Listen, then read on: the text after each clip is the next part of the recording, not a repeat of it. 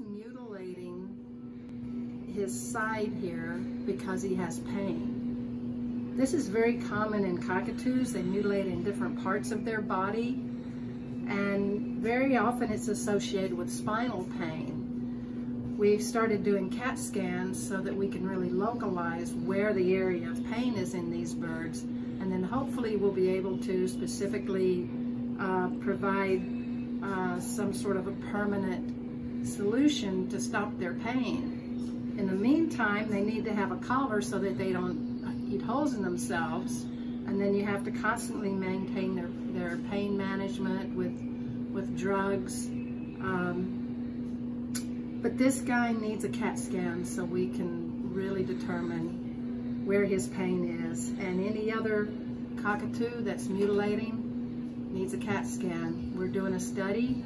Uh, if we get enough birds, we can reduce the price. Uh, the price is $1,200 for the CAT scan. Uh, but again, if we get uh, a number of birds, we can get that price down and we can hopefully help a lot of these guys uh, and help ease their pain because they're in chronic pain. Thank you.